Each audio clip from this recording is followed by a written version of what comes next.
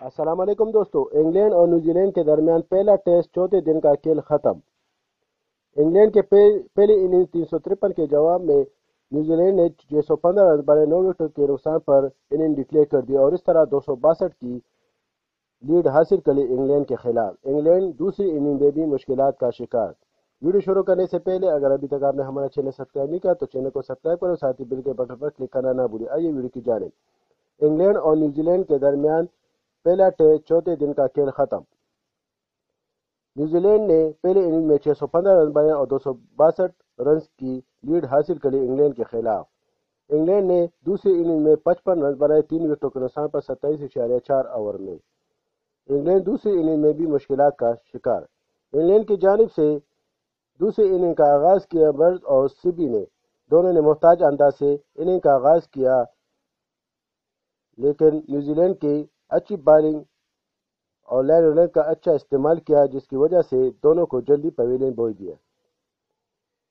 ان دونوں کے آؤٹ ہونے کے بعد ڈینی نے آئے انہوں نے محتاج انداز سے اننگ کا آغاز کیا، لیکن لسٹ نے ساتھ چھوڑ دیا۔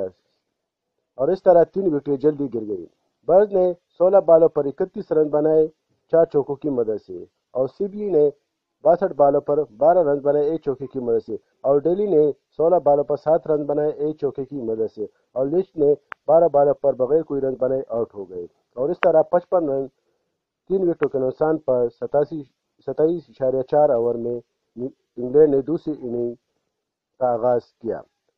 انگلینڈ کی دوسری اننگ میں مشکلات کا شکار۔ انگلینڈ کو دو سو سات رنز مزید چاہیے نیوزی لینڈ کے سبقت برابر کرنے کے لیے اس کے پاس ابھی سات وکٹیں باقی ہیں۔ کل میچ کا پانچواں اور آخری دن ہے۔ نیوزی لینڈ کی جانب سے بالروں میں کامیاب بالر رہے سیٹنر نے زبردست بالنگ کا مظاہرہ کرتے ہوئے آٹھ اشارے چار اوور میں چار میڈن چھ رن دے کر تین وکٹیں حاصل کی زبردست بالنگ کا مظاہرہ۔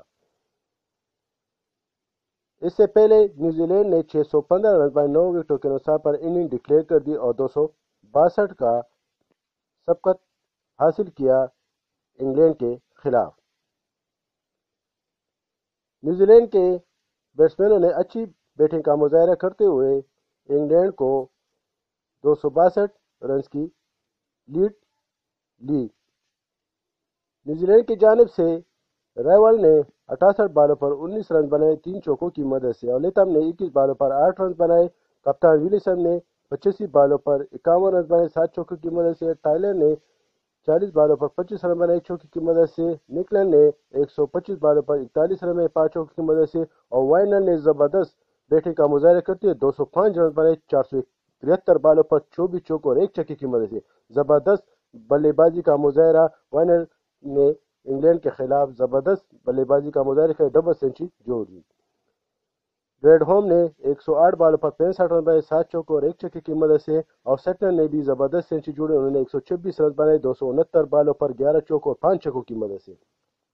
ساؤتھی نے تیرہ بالوں پر نو رن بنائے اور واگا نے پانچ بالوں پر گیارہ رن بنائے، ایک چھکے اور چکوں کی مدد سے اور بٹ نے ایک بال پر ایک رن بنایا۔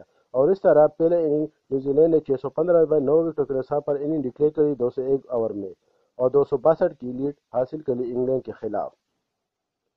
انگلینڈ کی جانب سے بالروں میں کامیاب بالر رہے۔ ایچر نے بیالیس اوور میں پندرہ رن دے کر ایک سو سات رن دے کر ایک وکٹ حاصل کی۔ ٹیرن نے پینتیس اوور میں سات، میڈل ایک سو انیس رن دے کر تین وکٹیں حاصل کی۔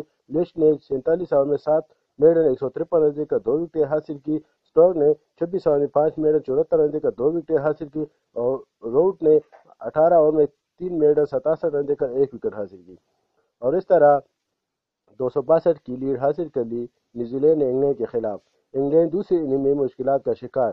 پچپن رن پر تین وکٹیں کھو بیٹھا کل میچ کا آخری دن ہے۔ ابھی دیکھنا ہے کہ کون کامیاب ہوتا ہے۔